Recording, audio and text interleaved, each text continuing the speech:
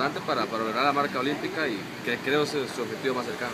Sí, bueno, eh, sin duda alguna Rotterdam va a ser una prueba muy importante Con, respecto a lo que son las aspiraciones de estar en un futuro en los Juegos Olímpicos, principalmente de Londres. Eh, sin duda alguna el nivel, el rendimiento, la topografía y las condiciones que se van a dar son eh, muy importantes para, para tratar de hacer algo muy, muy sobresaliente y algo importante para es la carrera deportiva.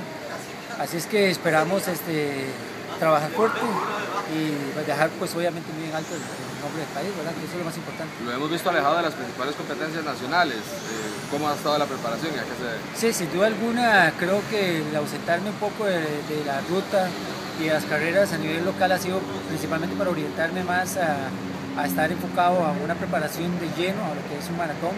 Para mí casi igual que una olimpiada porque me estoy jugando la clasificación. Entonces hubo trabajos muy intensos, ¿verdad? Trabajos de volumen, mucho kilometraje.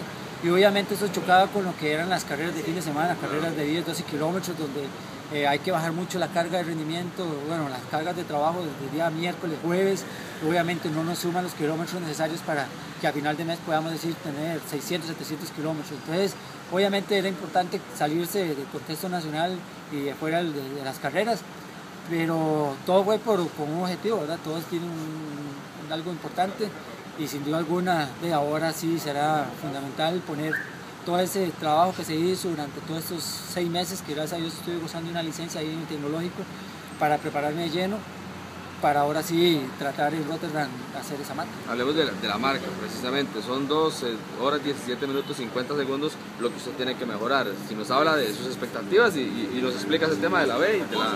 Sí, sin duda alguna, digamos, existe una tabla internacional a nivel de la IAF que maneja tiempos marca A y marca B.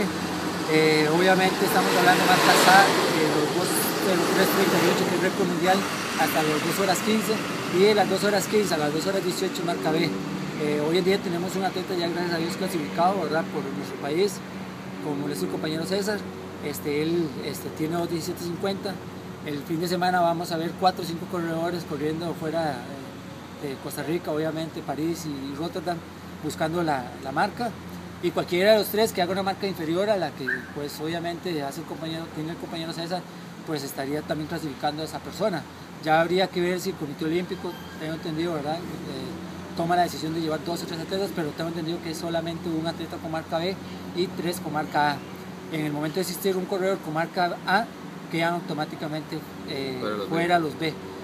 Sí podrían incorporarse más A, obviamente hasta un cupo máximo de tres, pero obviamente esperaríamos hasta el día domingo, los primero, ojalá podamos estar ahí en ese grupo de, de las dos horas que hice para abajo. Y si no, vamos a trabajar para, como te digo, hacer una, una muy buena marca. ¿Cuál es su mejor tiempo de maratón ahorita? Mi mejor marca eh, fue el año pasado que hice 2.23, sin embargo yo hace 6 años este, tuve la oportunidad de hacer 2 horas 17.50 en Buenos Aires, Argentina, que hice tercer lugar, pero bueno, algunas complicaciones en cuanto a trabajo y cargas académicas y demás impidieron que me eh, estuviera lleno. Sin duda alguna, el permiso que, con el cual gozo ahora de tres meses más los dos meses de vacaciones me ha permitido prepararme mejor y esperamos eh, trabajar bien. Económicamente, ¿cómo se costea esta ida allá? ¿Si el comité le ayuda, la federación le ayuda o solo usted? No, sin duda alguna, creo que eso es algo desde, con lo que he lidiado durante más de 22 años de carrera deportiva. En algunos momentos más apoyo, menos apoyo, pero sin duda alguna ahora este, prácticamente voy financiado con propiamente recursos propios. Eh, hubo un aporte que la cooperativa pues iba a, darme para hacer el viaje, sin embargo hasta el día de hoy no, no lo llegué a tener.